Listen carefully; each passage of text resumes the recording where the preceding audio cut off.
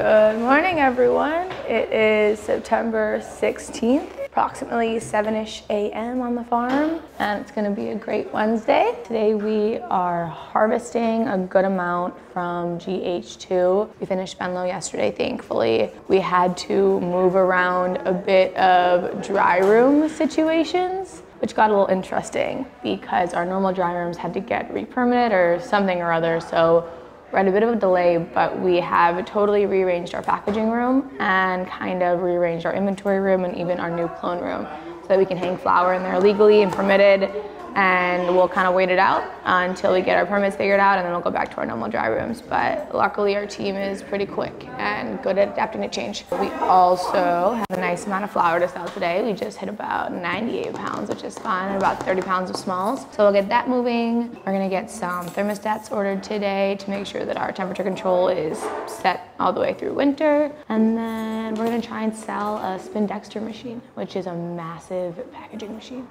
Absolutely massive like 20 feet tall. Has like a tire place to like stand and have a dance party on top of it. What's um, California's best seller right now? Runts. So one of those like hype weeds kind of where, you know, rapper really hyped it up. That on top of it being just a phenomenal strain. It smokes really well. It has good color. It smells amazing. Tastes amazing. 10 out of 10. Hi, this is Miriam. Today I'm hanging seed savers. So in total it's 1,060 plants. This plant is California OG. Uh, let me show you. These plants are pink lemonade, key lime pine. In my opinion, I would say kill it. It's only like 10 plants and it's not worth the confusion. Get a double opinion from Cole and see what he wants to do. How many do we have? They look good? Guava's actually decent. I would keep guava. Mm-hmm.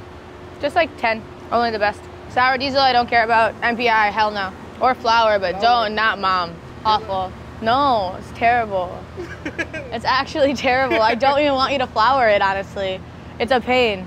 I know, it's awful though. It doesn't smell like anything. The S, one of the SFB cuts just doesn't have a good nose. So it makes it really hard to sell.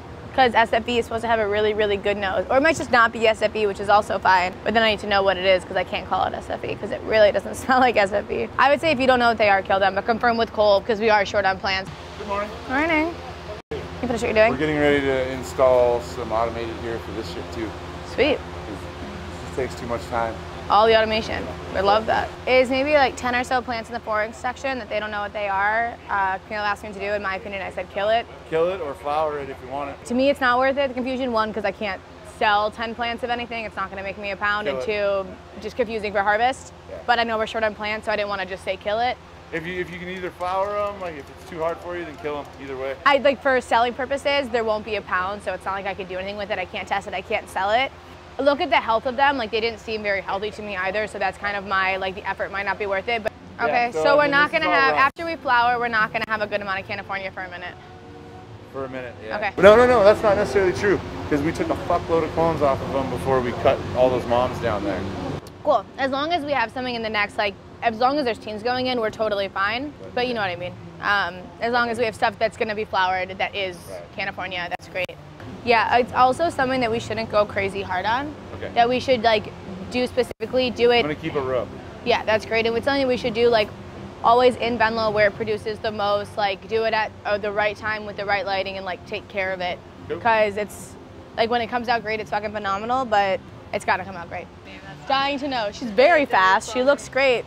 Never seen her in my life before. She's in the clone room. Sassy brought her. Oh yeah, Sassy recommended her, and Paul said we could bring her in. When? there we go. what point? We got How long? Uh, she got here Monday. You guys didn't know that? no. Oh, Paul. Does Nora know that? It's quite possible that she does. Paul just like she Yeah, asked me, and Paul said don't- make it happen. and You so- really, I mean, yes, phenomenal. Make sure that we know also. or else so she's not gonna get gets paid. Okay. Cool. Let's go find that out. I mean, I, just showed gar- up I, Monday, I so- pretty much guarantee she's not in the system. Yeah. Nora has no idea about her. I'm gonna give you like a 99% sure on that. We're definitely talking about the same girl. There's only one new girl. I make the schedule. I, I, it's phenomenal. I, that's important. Maria Angles. Okay, did you give all of her information to Nora? Does Uh, Nora know that she works here? Yeah, she knows. I, I told her that she was gonna come. Unbelievable. Yeah, I, told her. I told her on Friday. Great So, job, um, Sassy. that Great. Love that. Unbelievable. Nice. These look great. Have you guys been doing? Scared the shit out of me, Daniela. Hello.